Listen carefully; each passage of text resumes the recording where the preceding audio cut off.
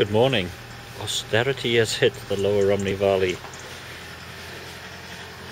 They've switched off most of the street lights. Times are hard. Actually, times are cold. Anyway, properly good morning. It's the 23rd November 2013. It's a Saturday. It's about oh 6.50 hours Greenwich Mean Time. It's cold, there's been a hard frost, it's clear. You can see the moon and you can see the stars. I'm not sure what that is. That could be Venus. Or maybe not, Jupiter. I'll have to look at my app. Uh, desperately in need of some tiny rebel and a copy of the South Wales Echo. And my fingers are tingling already.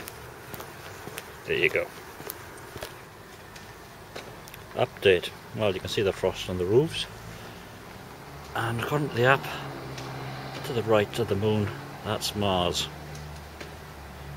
Probably pretty cold there too. Anyway, I'm going this way. Newport. Right.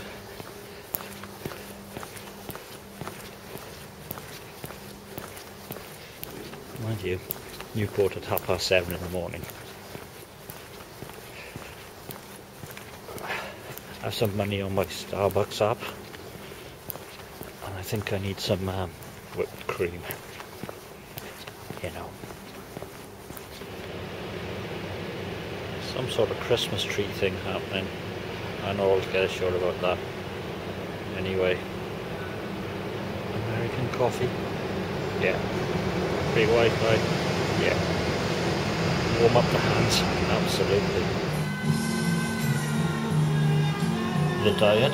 The diet starts in 2014.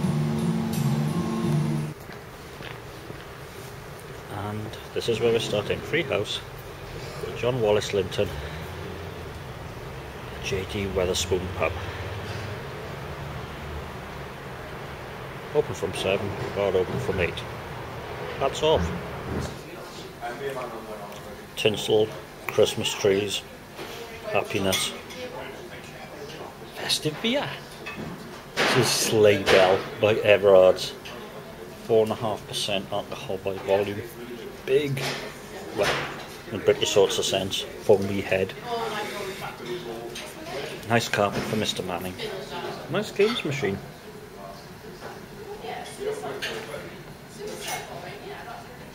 Hmm. Not a huge body. But I like that. That is a classic British bitter. I'm thinking B plus. This is number two. This is Wickwar Gold from the Wickwar Brewery, 4.5% alcohol by volume. That's the second 4.5% alcohol by volume. Talking to the barman, he tried this in Cwmbran and was not keen on it. He wasn't thick enough, heavy enough. I'm thinking body. So we'll have a little look. I usually like Wickwar. He said he usually likes Wickwar. Mm. Not a great deal of body, but big taste. A bit of tickly, yeah, tickles on the tongue as well. I think a B plus. Anchor, New Zealand butter. That's to the New Zealanders.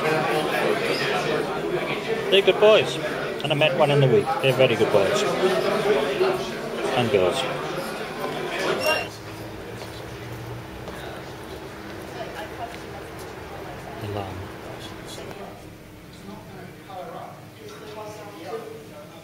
Directionless by Red Willow with 4.2% alcohol by volume. Hand pumped, of course. Oh, there goes the bee mad. Mm.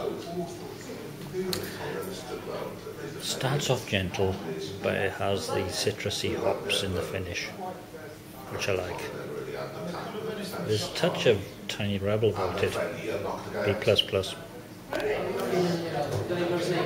Hooky, as opposed to old hooky from Hook Norton Brewery. This is three and a half percent alcohol by volume, which is fair enough because I'd struggle. Anyway, nice head, clear bitter. There's a clock. There's a fire ready for. Actually, it could be on. On. Burning.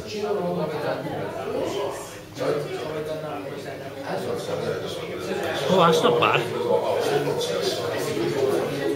I'm not altogether sure what hops they use. But I would say that's essentially English. Nine Welsh. Ooh, B plus plus.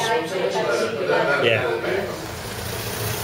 This is the rear entrance to the Pen and Wig, which is now the Whiting. Um, which is a good stuff. Another 4.5 brew. The third of today, which is awesome bred by Acorn Brewery. Almost creamy heads.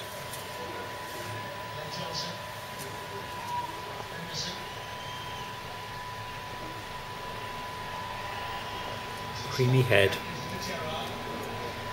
Nice citrusy taste.